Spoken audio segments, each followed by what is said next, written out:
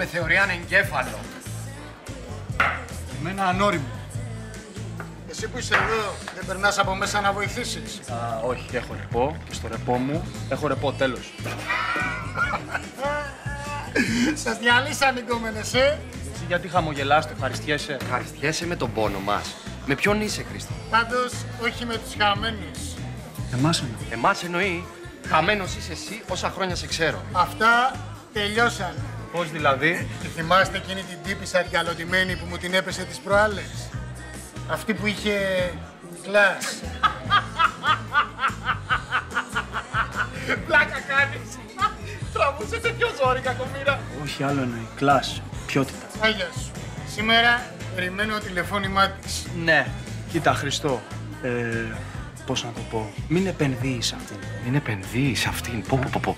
Διαλέγεις κάτι λέξεις μερικές φορές με φτιάχνεις. Γιατί να μην επενδύσω τώρα. Αφού φαινόταν η γυναίκα, με θέλει. Λίγο παραπάνω να πρεσάριζα και θα πηγαίναμε πίσω και θα γινότανε πανηγύρι.